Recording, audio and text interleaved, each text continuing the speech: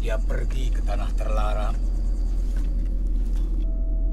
setan memaksanya menggigit lidahnya sendiri.